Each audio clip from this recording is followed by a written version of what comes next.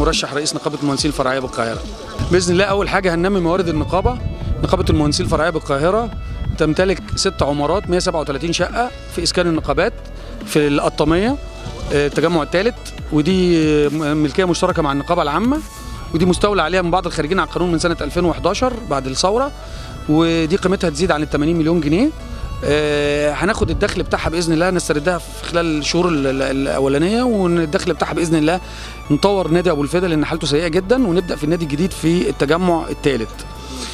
مهندس أحمد ماهر مرشح مقعد مدني في نقابة القاهرة الفرعية. يعني تركيزي أكتر على موضوع دور ال- الشباب المهندسين في في النقابة واللي يكون في إيجابية أكتر وإن يكون كذلك آه، يعني موضوع أسكان المهندسين والنوادي والخدمات وموضوع الكورسات. يعني في برنامج طرحينه في قائمة منظور جديد وإن شاء الله نحاول نحققه لو فوزنا بإذن الله يعني. أعرف حسين مرشح شعبة تعدين وبترول تحت السن رقم 13 آه، نازل بنفس الأهداف آه، مع مدثر آه، اللي هو دعم كل شباب المهندسين الخريجين الجداد والناس اللي هي بقالها سنين قاعدة في البيت بعد التخرج من كلية هندسة بترول وتعدين آه، سواء السويس أو القاهرة أو أزهر آه، لدعمهم ليبقى ليهم صوت موجود في النقابة. آه، تاني حاجة الوقفة مع مجلس النقابة في دعم المهندس آه، في المجتمع دعمه ماديا معنويا آه، نفسيا إن المهندس يبقى ليه حد يستند عليه في آه، أي مشكلة تواجهه في المجتمع. مع شركته مع المجتمع نفسه يبقى فيه نقابة واقفة في ظهر المهندس مش مجرد نقابة بتطلع لك كارنيه أو آه، أي حاجة تانية لأ النقابه بتدعمك حتى طبيا.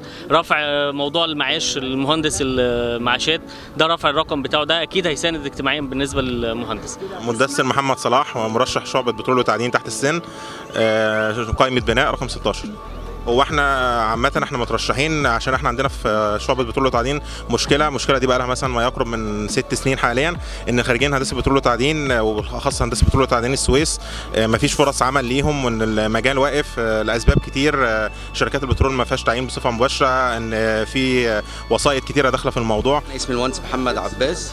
أنا كنت عضو نقابة قبل كده وأنا من الناس اللي ساهمت في رفع الحراسة عن نقابة المهندسين آه، ومرشح على منصب نقيب القاهرة. نقابة المهندسين هي جزء للأسف من دمار العمار نازل مستقل.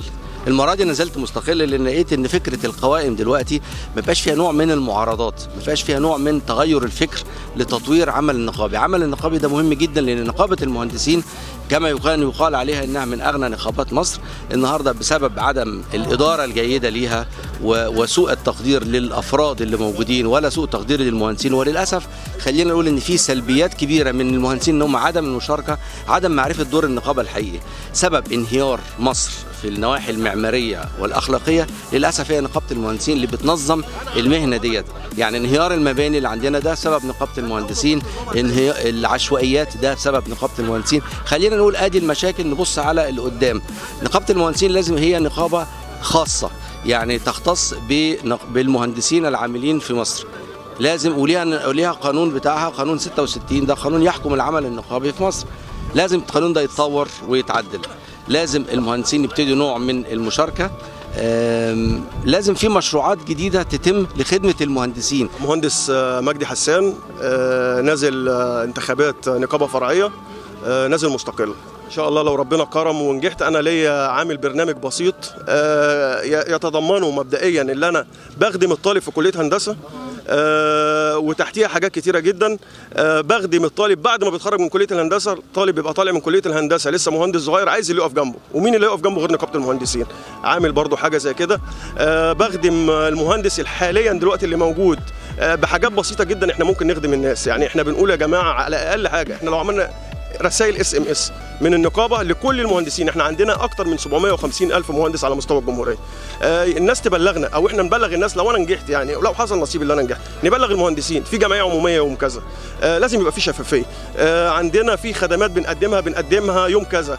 عندنا في أي حاجة إحنا عايزين نقولها لهم بنقولها لهم من من خلال خدمة ال SMS أنا واحد من الناس مش عاجبني الخدمة الطبية زي كتير جدا في نقابه المهندسين مش عاج- مش عاج- مش عاجبهم الخدمة الطبية. إحنا إحنا موعدين لمهندسين القاهرة إن إحنا نشعرهم بإن في نقابة في القاهرة وإن في آه، ناس بتدافع عن مصالحهم وبتحميهم لو حصل لهم أي مشكلة. هنعمل لهم نوادي حقيقية تساعدهم على إن هم يقدروا يخرجوا هم وأسرهم وهنعمل لهم مقرات يقدروا يمارسوا فيها نشاطهم. وهنحسسهم لح- بوجود نقابة حقيقية داخل القاهرة تدافع عن مصالحهم تطور مهنتهم تحقق الترفيه ليهم ولأسرتهم وتحقق الضمان الاجتماعي ليهم ولأسرتهم.